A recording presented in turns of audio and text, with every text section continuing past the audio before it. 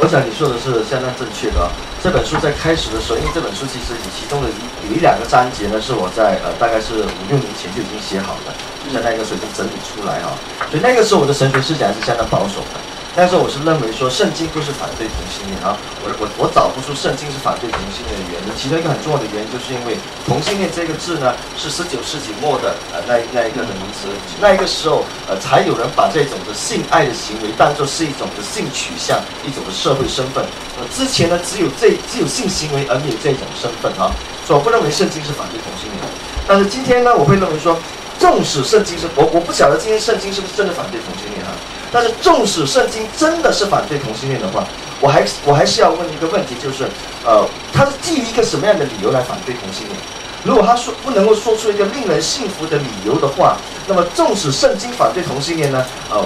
说话啊，呃，圣经是错的啊。当然，很少人会呃，传统基督教都很少会会会愿意承认说圣经是错的。当然，如果我们不愿不愿意用那么重的字来说的话，我们可以甚至可以说那。我们不不不，我们不不需要去遵守这样的一种呃不能够经得起的现实，我或者我们今天社会的理性，无论是来自于自然科学或社会科学或者人文科学的批判的那一种的思想的结果啊，我们仍然可以说，如果圣经就是就纵使圣经反对同性恋的又怎么样，对不对？圣经曾经呃从从旧约到新约都是支持奴隶制度的啊，保罗是支持奴隶制度的，而今天有谁会说呃奴隶制度是正确的？对不对？所以我想这些都是我们可以思考的问题。就好像刚才他所说的，就是有很多东西我们可以我们可以去批判，嗯，有很多东西我们可以去批判，我们可以去颠覆。那当我们在颠覆，呃，当我们在要为同性恋争取权利的时候，我想其实我要我我要强调的，呃呃，借借由这本书做一个出发点去去和大家思考的一个问题，就是甚至就好像他所说的，同性恋者可以内化异性恋的霸权和内内异性化霸权的逻辑。好，所以我们要重新思考的一个问题是什么是真理的问题啊？什么是真？什么是假？什么是对？什么是错？好，所以这些问题呢，都是必须我们重新去思考、重新去定义的。因为一个非常重要的一个原因在于说，所有的这些东西，我们人类所有的知识，甚至包括基督教的信仰呢，都是一种的社会的一种的建构啊，都是社会的结构啊，呃，社会这社会建所建构出来的是 social construction。这社社社会的建构，呃，当然，当我说是社会建构的时候，不代表说它没有呃真理，或不代表说它没有绝对真理，但是它，但是，因为我们人每一个人呢，都是历史性的存有。啊，历史性的存有是什么意思呢？Historical being 的意思就是说，我们是在特定的历史的时空下，呃，生长，呃，受教育，所以我们不能够超越我们历史的时空、时间的空间，呃，去进行去进行思考。哦，今天我是一个人，我是在地球进行思考。啊，今天我是二十世纪的人，二十一世纪的人，我是华人，啊，我是我是我是同性恋者，这都是我的我的我的社会的位置，我的社会地位。没有，我只能够从我们的社会的位置去思考问题，我们不能够超越我们社会的位置去思考问题。所以所有的问东西呢，都是从我们的从我们的历史性的处境来出发的，因此它有它的它有它的局限。那我给大家举一个例子，什么叫做呃呃社会历史性的那种的位置呢？呃，就好像我刚才所说的，我我我是同性恋者，我是男同性恋者，呃，我是我是华人。呃，我是虽然我是是受受中国文化影响，可是我还是在马来西亚成长，马来西亚受教育啊。然后小学中文教育，中学马来文教育，大学英文教育，这些东西呢，就塑造了我之所以为我的其中一个非常重、其中非常重要的因素。那我只能够从这些的、这些的训练和这些的、这些的位置去思考问题，我不能够超越这些东西去思考问题，我不能够从女性的角度去思考问题。我的女性主义的朋友，或者是我的女性朋友，可以告诉我和我分享他们的经验，可是我不能够真正的从他们的角度去思角度去思考问题，因为我没有成为女性的经验。一个最基本的例子就是，有很多女性到今天在很多国家，还是每一天要经历被强奸的恐惧，性骚扰的恐惧。这种恐惧的经验呢，会建构女性的世界观、人生观和她对人际关系的看法，而这些经验是我没有的，所以因为我没有，我就不能够从他们的从他们的角度去思考问题，我只能够聆听，然后我尝试学习，可是我不能够从他们的角度去思考问题。就好像我不能够要求你从非洲黑人的角度去思考问题，因为你不是非洲黑人，你没有你没有那一个的经历。就好像我不能够一个不懂华文，呃，不懂中华文化的美国白人，要从呃中国人的角度去看这件事情，啊，因为对他讲，什么叫做中国人的角度？他不是中国人，他也不懂这个文化，也不懂这个语言，对不对？所以，我们只能够从我们的角度去思考问题。所以讲，所以我觉得这样的一种的认识是是非是非常重要的。所以，因为这样子的关系，所以很多异性恋者不能够了解同性恋者。因为他们只能够从他们的角度去思考问题啊，所以我觉得这就是为什么呃写这本书另外一个很重要的目的，就是希望同性恋能够走出来。因为今天社会对同性恋或者教会对同性恋有很多的误解，有很多无知的那种的认识和偏见，就是因为他们没有真正的认识同性恋者，因为他们不认识同性恋者，所以他们继续歧视同性恋者，对同性恋抱有许多的无知的偏见。因为这些偏见的缘故，使到许多同性恋者不敢走出来向他们展示什么叫做同性恋。因为同性恋者不敢向他们走走出来展示什么是同性恋，所以这个社会继续对同性恋有无知和偏见。所以这是一个恶性的循环。所以要突破这个恶性的循环呢，就必须有同性恋者走出来承认我们是同性恋啊，让人家让让这个异性恋社会知道什么是同性恋，然后也让这个异同性恋的社会了解，同性恋的社会其实也不是一个单元的社会。男同性恋跟女同性恋也是不一样的，这在男同性恋里那里面呢，也不全都是一样的。所以我觉得这个这是一个非常重要的那一种的面相。就这就是为什么我说很多对很多事情的看法，什么是对，什么是错，我只是我们一种社会建构和定义的结果。因为我们处在这样的社会，今天我们处在这样的社会里面啊，所以我们会因为习惯而成自然，我们就以为我们所习惯的事都是正确的事。其实未必的。如果我们有去到国外去，或是进入了另外一个文化的时候，我们就会发现，原来我们认为不最不可能想象是在别人看来是理所当然，那在别人看来是不可能想象的事，在我们看来是理所当然的，对不对？所以我觉得这这这种的这种走出来，所以走出来也不再只是局限于从心里要从衣柜里面走出来，而说每一个人呢，必须要尝试从我们个人非常有限的那种的经历里面和经验里面呢，借助聆听别人的经验而走尝试走出我们的经验。这当然这是非常困难的，可是我想我们可以借助聆听啊来学习，呃，暂时跳出来看别人怎么。看别人怎么做，而我认为人是有这种可能的，因为我们人有把自我当做主体和客体的那一种的能力啊，I as subject and I as object，所以我们人呢是可能思是可能反省，也可能去思想我们自己所做的东西，好像我们思想别人所做的东西那样啊，所以呃，这是这是一点值得庆幸的啊，我们有能力，我们有能力。这么做，虽然我们可能不是做的，不可能做的完全的非常的那完美，就好像我刚才所说，我不可能完全的从女性的角度去看问题，可是我可以接受聆听，而稍而相对的了解女性在想些什么东西，啊，所以同样的道理，接到我们谈到绝对真理的时候，我不是否定绝对真理的存在啊，我质疑的是。所有的绝人类，因为我们是相对性的存有，因为我们是历史的产物啊，所以我们人只不过是相对性的存在。所以因此呢，我们所有的关于绝对的论述呢，只不过是相对性的绝对。那只不过是一种相对性的绝对。从我我我，你问我说，哎，你真的相信神？我是一个牧师，你问我真的相信神存在吗？我说我相信神存在啊。如果有一天神真的不存在，那我会奇怪吗？我会死。我会奇，我会，我会，我可能会有点奇怪，可是我不会说太过吃惊啊，因为神可能不存在的啊。当然，呃，如果牧师说很很多人可能不能想象牧师说这种话，神可能不存在了啊。但是，但是，但是真的我会这么说啊，神可能不存在的，因为我今天认为神存在，只不过是基于我个人的宗教经验和我的思想以及我所处的社会，神有可能不存在的。只不过是我个人按我的思想的分析啊，我相对比较而言，我认为神存在的可能性比神不存在的可能性高，所以我选择相信。所以这是一个信仰，这不是科学知识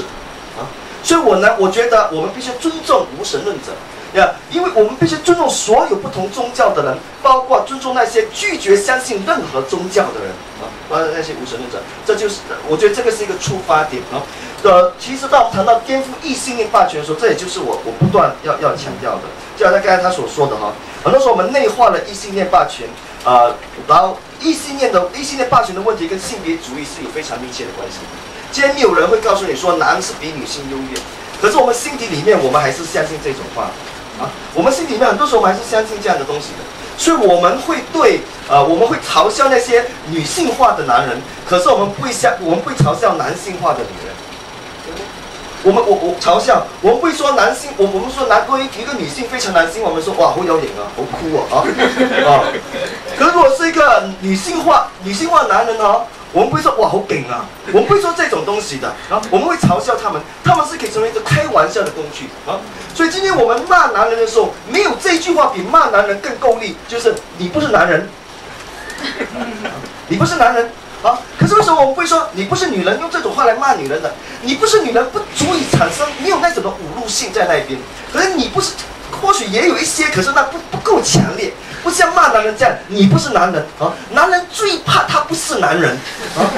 可是为什么？你你明白我的意思？因为因为这个是男男性比女性优越嘛，所以一定要有这个优势的地位。所以男性化的女性呢，是在性别主义的思想之下呢，是一种身份的提升。可是女性化的男性呢，在性别主义之下呢，是一种是一种身份的堕落，啊，是一种降级，所以我们会嘲笑他们，所以他们可以成为开玩笑的那种的对象，啊，所以我觉得这些东西都是我们必须重新思考的哈。什么是男人？什么是女人？啊，我们怎么定义男人？我想，呃，我们这边都有女性主义者，或者是专门研究性别的，呃，性别的的教授在这边。所以，我们就可以重新思考这个问题啊。所以，这所以我觉得有很多东西是我们必须要思考的。而宗教右派和宗教原教旨主义其中最大的问题呢，就是自以为自己已经超越了呃它的历史性的空间和时间的位置，而能够对很多的事情做出绝对性的那种言论，而且是那种非常相非常绝对性的绝对，而不是属于相对性的绝对啊。我是一个开放，我是一个相相对开放的人。可是不代表我没有立场！我对很多东西都有立场的！我对很多东西都有都有立场。如果我没有立场，我就不会走出来。我不会从我不会走出来，要迫切的希望同异性恋社会能够认识同性恋，或是教会能够接纳同性。我有很我有立场，甚至我的立场比很多人呃更强烈。可是我还是我的立场，无论再强烈，我都保有一定的一一定的更改空间，的一个更更改空间。呃，我觉得所有的思想。我认为所有的思想，所有的这些立场，都是一种过程式的，都是呢，都是在过程式的意思，就是在新知识的光照之下，在新证据的光照之下，我们具有的立场必须重新被批判，和重新再建立。这是这这这是我个人的想法。所以因为这样子哈，所以我能够跟我我我这这本书是一种对话式的，虽然我的言语可以是很强烈的。可是我是可以对话的。如果你能够说服我同性恋是错，那我就告诉你同性恋错。可是宗教右派的人他是不能够想象这个问题的。你你你问宗教右派的说，如果圣经支持同性恋呢？他说不可能的，不可能的啊！他马上就跟你讲不可能，不可能。你说我不是说他他是，我是说如果嘛，他他连如果都不敢去 entertain。啊他连如果都不敢去想象啊，所以我觉得我们，我我们，我觉得我们必须要突破这样的一种的一种一种的障碍。我想同性恋给给异性恋社会怎么样颠覆异性恋霸权呢？就是他他颠覆了性别角色，好像刚才所说的啊，人身体的功能各方面东西，然后告诉我们说，男人同男同性恋啊，男人可以坚强，男人也可以温柔，女人可以是温柔的，可以是软弱的。可是女女性的爱也可以是比死更坚强的，然后女人是没有男人是不会死的，啊，所以我觉得这些东西就是一种的一种属于一种思想的颠覆，那这让我们重新再思考啊，我们所把持的那种的真理，什么是真理，什么是对，什么是错。所以虽然我们今天看起来是谈论同性恋和异性恋的问题，其实我想我们我们我们真正的问题，至少我个人真正要谈的问题是。是关于什么是真，什么是假，什么是对，什么是错啊？然后我们要重新去思考，我们是怎么思考的。今天很多时候，在一个霸权的社会里，不鼓励我们去思考啊，更不用提是思考我们的思考，或是针对我们的思考去进行再思考，对不对？那我觉得这是一个更根本的问题，我们必须做的。否则的话，就好像他所说的，一旦这个社会接纳了同性恋之后啊，就好像一旦过去的教会承认。呃，承认地球是绕着太阳转，三百多年以后教三百呃过过去教会完全否认这个事实嘛，然后逼害科学家嘛。三百多年以后，一九九二年，教皇公开道歉啊，可是我们都不 care 嘛，你道歉你的事啊，我是谁谁谁不知道地球绕着太阳转，对不对？哇，好道歉好过没有道歉啊？虽然他已经道歉了。然后奴隶制度没有一个人还会支持奴隶制度的啊！虽然在十六世纪、十七世纪的大公会议都是反，都是这这非常强调说，呃，要要解放奴隶制的人是可咒诅的啊！今天没有人会说这种话，可是我恐怕的是，很多人还没有从这种的历史事实里面吸取教训，去吸取教训啊！我想，我最担忧的不是这个社会不会接纳同性恋。对我来说，这个社会迟早接纳同性恋的，这绝对不是一个问题来的啊！我有这样的一种信心，这是大势之所趋啊！同性恋在某一方面来讲是必胜的，啊啊，这是必胜的。这这个社会已经越来越认识什么是同性恋了，认识接接纳同性恋的人也越来越多。但是如果这种内在逻辑的问题我们没有去克服的话，今天我们接纳同性恋之后，我们又再会。再重新的去使用过去批判同性恋的那一套逻辑和方法去批判别的东西，我们会去批判 open relationship，我们会批判那些哈有很多性叛逆的人，啊，当然很多人听到这边又可能会觉得哇，性叛逆是不是你是不是在鼓吹性叛逆这些东西啊？那这是另外一个话题，我我觉得我们可以谈的，没有什么东西是是不能够谈的，对不对？我我为什么我如果我们很多人说我们要我们要追求真理啊？可是我觉得很多时候很多人并不并不真的要追求真理的啊啊！I want to know the truth. Are you sure you want to know the truth? Can you handle the truth? Can you handle the truth? 对不对？很多人不能 handle the truth，然后他说我要我要我要真理。所以我觉得很多时候真理呢，只不过是他们他们关心的不是真理，只不过是权威，只不过是一种控制社会的权利。啊，我常常说到今天为止，天主教我在天主教大学里面教书啊，天主教大天主教的官方立场啊，还是认为手淫自卫是必死的罪，不只是罪啊，还是必死的罪，mortal sin 啊。可是今天很多人，可可是如果你先去问神父的话，没有人会去问神父这个问题。OK，没有多少人了，还是可能一些人，但是没有多少人会问神父，我能不能手淫啊这些问题啊，因为。你因为他讲不能的话，我也不相信他嘛，我不相信他没有手淫，对不对？所以很多人就不会问这，不不去问这个问题。然后教会也已经逐渐的认识啊，呃，这不是一个问题。可是为什么教会官方立场不改变？为什么不去改变？因为一旦他这么改变的话，这我们就会在问：OK，你终于承认你错了，几整千多两千年来的教导你错了。我现在在问，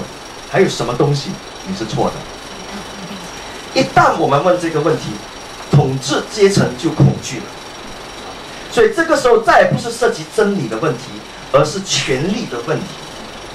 我们常常说知识是权力，知识是力量。可从另外一个角度来看，权力也是知识，力量也可以是知识。因为那些拥有权力的人，我们今天什么是真，什么是假，什么是对，什么是错？什么叫做知识？是谁说的？那些有权力的人说的。好，今天我们对权力的最权、最知识的认识，只是停留在一个层面，说知识是权力，知识是力量。可是我们忘记了，所谓的力量和权力，其实也可以产生知识。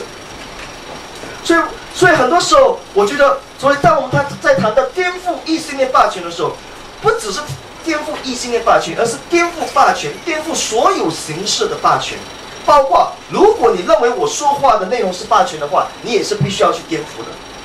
这就是我。和和和和我同一类的人，包括露西这些露西这些人呢，跟宗教右派的人不同的地方，不代表我们绝对开放没有立场，什什没有立场，什么都能够做，而是说我们不认为自己拥有绝对的真理，跟跟我们不认为自己有绝对的真理，我们是可以接受批判的，而且我们是欢迎批判的，因为我我们相信，我就在这种批判的过程中，我们成长，我们学习。今天为什么？如果从比较人性的角度来看，为什么要写这本书？呃，谈到说，呃，要要大家认识同性恋啊。因为现在我们市面上我们有许许多多的书啊，教我们怎么样谈恋爱，可是都是教异性恋怎么样谈恋爱，没有真正多少本书教导同性恋怎么样谈恋爱。我们怎么样学习谈恋爱？我们用最残酷的方法学习爱情。我们伤害别人的心，而我们伤害自己的心。我们用这种最残酷的方法，我们稍微对爱有些认识。我觉得这是一个，这是一个悲剧。呃，教会一个强调爱和公益的教会，必须要停止这种悲剧，让我们大家能够一起啊，用比较温和，而不是那种一种互相伤害的方法去学习爱情。